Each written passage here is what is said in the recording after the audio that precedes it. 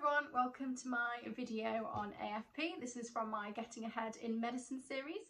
So the idea behind these videos really comes out of my own preparation for core surgical training. And what I realised is it's actually much, much easier to kind of do these things through medical school if you're so able. Mostly because you've got more time to prepare, but also because if you know what you need to collect as you go through, you can be much more opportunistic. And some of the things that you need to collect for these applications, like surgery for instance, it's out of 72 points. You get eight points for organising a teaching programme. Now, organising a teaching programme as an F1 is quite difficult because either you've got to get the trust to allow your attendees to attend on paid time, or you've got to get them to come in their own time, which when you're working shifts, people just don't want to do. So what I realised is you can actually do this in med school really, really easily, and that's a huge eight points on your application. So I started off by doing the um, so I've been doing this with my mentees over at Medic Mentor. We've done the surgical one, we've done AFP, and they have found this really useful. So this is going to be a video on how to prepare for AFP. Um, it's a much more limited application, a scoring matrix than the surgical one. So there's only a few things for us to go through. Um, I will do a video on the surgical one and I can do an IMT one if people are uh, desperate for, for that. So what is AFP? If you've not come across AFP before, it's the Academic Foundation Programme. And this is something you might want to consider doing if you're thinking about having research in your career or medical education. I have to say the kind of the saying kind of goes is that if you want a consultant job in a teaching hospital in certain specialities, then research is something you're going to have needed to be involved in at some point in your career. So it is always good to kind of have some sort of research profile. Um, you know, why not? Why not be paid for it as part of your foundation rotations? So you can apply to AFP as well as the foundation programme. So you've really got nothing to lose apart from a little bit of time if it's something you want to do. So the first section we're going to consider is degrees. So here is the scoring matrix. So this is one of the sections that I'm not going to spend much time on because you either have it or you don't. But what's helpful about this degree section is kind of knowing where you fit compared to other people. So if you're sort of down here at the bottom and you've got, um, you know, you're getting four or five points, then brilliant. If you are somewhere near the bottom and you are, you know, coming up at one or two points, at least you know early on that that's probably something you might need to um, compensate for in the rest of the application. If you're someone who's die hard, I want to do AFP, then it is better to know kind of where you sit as compared to your peers. So you've got time to kind of do more things that will hopefully overcome that. So this is the next section. So this is the one where we've really got the opportunity to score as many points as possible. And this is publications and presentations. So there are up to 10 points to be grabbed here. Um, most people, I'm sure, won't have the full 10 points, especially if you are someone who kind of rattles along, finds out about AFP quite late in the game, you're not going to have the time to kind of rattle through, you know, five five publications or 10 poster presentations. But if you start preparing really early, then you've got the time to kind of do this, as many as you like, you know, maybe you've got eight or seven or whatever you get. If you're a person who's watching this video who is soon to be applying for AFP, don't worry, there hopefully is still time for you to, to try and get in what you can conferences run all, all over the, you know all the time. Um, and especially now we're in covid we're in a covid time a lot of these conferences are being presented online only. So it can be really easy to kind of send in your abstract and present it via zoom or online or whatever kind of their um, how they're managing this conference. So up to 10 points two points for an original research paper and one point for each oral or poster presentation. Now, the presentations must be national or international, so you can't just present them anywhere. You've got to be thinking about what conference you're going to go to. So anything like um, Royal College of Surgeons, uh, RCP, these will be national conferences. Um, you can't have things like BMA or student or trainee led conferences. So if you're wanting to present at these and you, you know you, you want to for whatever reason, fine, do it, but be aware that they aren't going to count for your AFP applications. And it's better to know that now than when you're applying. In terms of your publications, they must be peer reviewed and you must have a PubMed ID. Now PubMed IDs can take a fair while to come through, which is another reason why it's good to prepare for AFP early because you know I've had friends that have had you know submitted things and it's taken months and months and months for their PubMed ID to, to be you know uh, valid and up there. So try and make sure you've got time to fit that in. All sorts of conferences that you can present at. So think about ASiT, um, the Association of Surgeons in Training. You don't have to be a surgeon to present at an ASiT or, you know, if there's whatever conference you want to do, you know, if it's, if you want to, if you desperately want to be um, an anaesthetist and you want to pre uh, present at an anaesthetics conference and that's national, brilliant because that shows um, commitment to your speciality early on. That's fantastic and it will serve you well later on. But if you have a project that you think kind of has an anaesthetic slant, but you know you want to do pathology or paediatrics, it doesn't matter at this point. A presentation is a presentation is a presentation. And if that conference, you know, sits well with the theme of your presentation, then just send it there and it really it really doesn't matter. What matters at the moment is that they're on your CV. Later on when you come to be kind of the you know you're sort of narrowing what you do, that's when we need to start thinking very clearly about the type of presentations that you're doing in terms of speciality. But please don't feel that you can't apply to ASiT or you know pre-medicine conference, whatever it is that you want to do. Um, because as a medical student, you sort of belong to all specialities anyway and most conferences will have med student um, med student rates so it's cheaper it's often cheaper for you to present at conferences. Um, I once presented at the International Conference of Quality and Safety in Healthcare. Um, I did that as a doctor and it was really really expensive. Um, I did get funding for that which was helpful um, but as a med student it's so much cheaper and easier for you to present at these conferences so try and get your presentations in there whilst you're a med student if your medical studies can support that. So the whole of this video has to be viewed in light of the fact that your medical studies have to come first. And this is something I always say to my mentees. So if you're a person who's really struggling at medical school at the moment and you're struggling just to kind of pass each, each module, then try not to worry about this. The most important thing is that you graduate with a medical degree and don't worry about anything else. But if you feel like you're on top of things and you want to prepare early, then you can use these tips.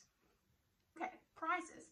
Uh, this is the one no one likes uh, as far as you know most most people go because prizes are quite difficult to come across so usually either you kind of have them or you kind of don't so when we talk about prize we're talking about a distinction or a merit that's at, in one of your med school modules so for instance you might have done an obs and gynae module and you've got a merit or a distinction in that module it usually means that you have to have you have to have scored in the top 70 80 90 percent of your cohort for that module in both the OSCE and the written.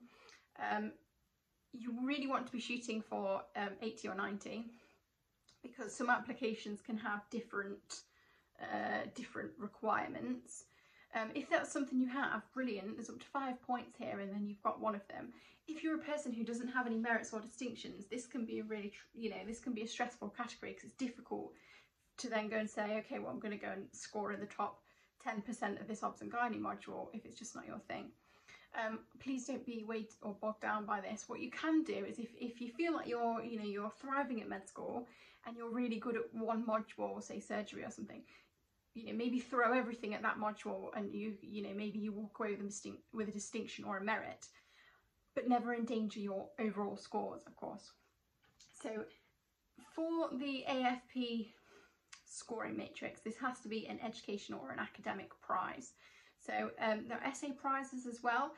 Essay prizes are in some ways less useful for your time because if you do a publication or a presentation, chances are it's going to get going to get published and it's almost certainly going to get presented uh, depending on where you send it. With an essay prize, you know, you could spend a lot of time and effort creating an essay prize and actually you don't get anything back for it because you don't you're not the, the top one um, and for AFP, this has to be a first prize. It can't be runner-up or second. What you can do is when you think about essay prizes, think about some of the smaller prizes. So if you win an RCS prize, that's fantastic. It's going to be on your CV even when you're a consultant. It will be there forever because it's huge, it's prestigious. But what's what's good to think about is some of the smaller prizes. So sometimes you will have emails from someone at your university, I'm sure you can think who it is, who sends out flyers for things like conferences or training days and those kind of things sometimes they will send essay prizes around and they can often be really niche essay prizes like um, histopathology, forensic pathology, forensic psychiatry. And but those prizes are not going to have a lot of entrants, not as many as RCS, I'm sure. So sometimes it can be worth focusing on the smaller prizes and work, walking away with the first prize, as it is to go for RCS and, and not get anywhere. But that's something for you to weigh up. Um, so it must be an educational academic prize for um, for AFP. Um, it's got to be national level and there's up to five points available. So there are some, there I'm going to give you a list of names of a couple of prizes that you can think of that you probably haven't come across. So there's Rouleaux Club, which is uh, vascular. Um, there's the BGS Amulree Prize, so that's the British Geriatric Society. Um, there's a Rehab Psychiatry Prize. There's also a Neuroethics Society. Um, NANSIG, which is the uh, Neurosurgery Society, they do a prize. Um, there's a Tim Evans one for ICU. We do one at Medic Mentor as well. Um, so there are all these kind of essay prizes that you might not have heard of that are there to be, you know, used. Um, I would say follow as many people on Instagram, not people, but so follow as many organisations on Instagram as you can, like ASiT are always linking prizes. All of these organisations like the British Geriatric Society, as long as they've got an Instagram page, you're going to be made aware as soon as a conference goes up or an essay prize goes up. Instagram is a fantastic resource for medicine really if you're you know trying to collect publications and prizes and collaborations and all those kind of things. Um, so in terms of prizes, you can get points for scholarships awarded for educational achievements and you can also get points for nationally awarded funding for a research project or any other fun funding grant. So what do you need to do now? That's, I mean, that's it. So we've gone through all of it. There's only those, those few categories. What do you need to do now? And these are the really important takeaway points. You need to go and get yourself a lever arch file. You're going to keep this file for the rest of your career. At the moment, it can be a, a, a ratty tatty one. Uh, at some point, you're going to want to get a nice one. But what you need to do is go and get yourself a file and anything, anything that you have done that is outside of medical school, teaching, leadership, publications, prizes, you need to put that in your portfolio. Section it into sections, publications, prizes, teaching, leadership, quality improvement, um, and put what you have in there. One thing that catches people all the time is you do something, let's say you did a teaching thing, and then you've done that and you think, oh, that's in the bank, but you haven't got a letter of evidence. Everything that is in this application and in every application going forward requires specific evidence. If you have anything that you don't have evidence for, go back and track down that person and ask them for a letter right now, as soon as you close down this video, because what happens is it gets very difficult three years down the line, two years down the line, to go to someone and go, oh, uh, you know, by the way, do you remember this thing we did three years ago? Can I have a letter? And they'll be like, well, who are you? And, you know, I've worked with many medical students since then. Or someone leaves the trust. So anything you do, your time is precious. Medical school is hard. Anything that you do, you get a letter of evidence. Now, it's this not so much for AFP, but certainly for um, any of the specialty applications, they have very specifically worded criteria boxes. So for instance, if you're getting a letter of evidence and you know it's for this box, sometimes it's a good idea to ensure that your evidence reflects what it says in the box, as long as that's what you've done. So if you've, for instance, if you've led, designed, um, led and designed an audit um, and has just demonstrated a positive impact, that's what the criteria says for the points. If that's what you've done, make sure that your evidence says that because when the examiner comes to market, there's no quibble. If you've led, designed, uh, done all of that, uh, but your evidence just says, you know, uh, Lauren Jane participated in an audit on the 14th of September, that's not evidence. That doesn't demonstrate that I've done what the criteria wants me to do. So go away and make sure that everything you've done, even if it's not relevant to AFP right now, anything that you've anything that you've invested your energy in, try and get a letter of evidence from because you will need, you, you don't know if you might not need, you might need it later on. And that's really, really important. And then what you need to do is you're going to strategize how you're going to collect your points. So go back through the video or go and find the um, scoring matrix. So the A, I should say the AFP scoring matrix are slightly different for different deaneries. So think about where you might want to apply. Have a look at the have a look at the scoring matrix, add up your points, look at where you are weak, and then depending on how much time you've got focus on what you could be doing to help you improve your your scoring criteria.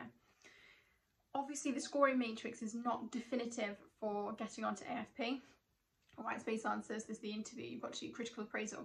But these are the things that you can do you know you could do them from first year second year whenever you want to do them or you know even the start of fourth year whatever you want to do.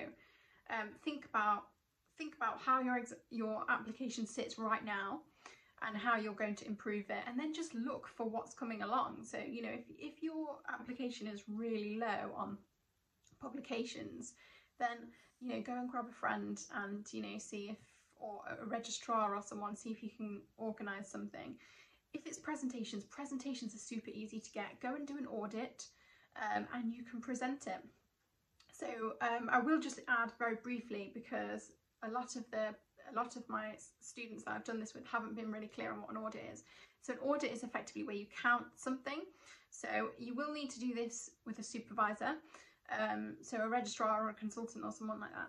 But basically you're going to count something. So it can be anything really simple in the hospital. For instance, you know, um, I once introduced a cumulative blood result sheet. So I counted how much time it took for so many people to open the medical notes and have a look in and find the correct blood results and then transcribe them. And then what I did is I introduced a cumulative blood result sheet at the front of the notes because the cows are never working. And then I retimed how much quicker that was. Obviously it's quicker. Um, and then I present, I didn't present that because it's a very simple audit, but I presented something related to that in terms of compliance and how well it was taken up and things like that. So that was an audit. I introduced a quality improvement, which was the um, cumulative result sheet. And then I re-audited the whole process to see if my quality improvement had made a difference. So that is doing a what we call a closed loop audit. So first audit is for the first time you measure something, introduce something to improve it, re-audit to check your um, QI your QI has made a difference, and then you can stand back and say, you know, it's basically saying the NHS can benefit because I have an evidence base to show that this thing has improved. So another one that I did for an example is in when I did child psychiatry, uh, we were supposed to do mental state examinations in certain meetings for all of the patients. So what I did was I went and looked in the notes over a certain period of time and checked how many people had actually got mental state examinations. Uh, it wasn't optimal. Therefore, I got a laptop for the junior doctor who would be in that meeting and introduced a kind of proforma. And then, so that's the quality improvement. And then I re-audited, so basically did exactly the same that I did the first time. Um, and then to see if my quality improvement had made any kind of difference, which it had. That you then go and present. So the second one, you could go and present at a psychiatry conference, or you could present it somewhere like the International uh, Conference, uh, the International Forum of Quality and Safety in Healthcare, because they're interested in quality improvement. So it's just thinking, you know, where I've done this project because I'm on a psychiatry rotation. Um, I'm not interested in psychiatry, I don't want to do psychiatry, but actually I could go to a psychiatry conference, I could go to a, a quality improvement conference anywhere, just think about anywhere that it fits. Um, and the last thing to note,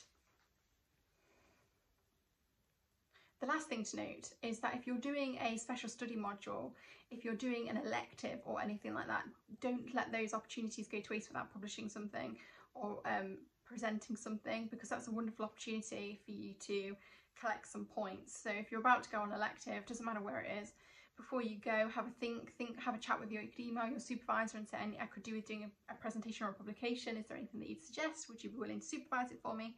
Because you will be needing supervisors at this point.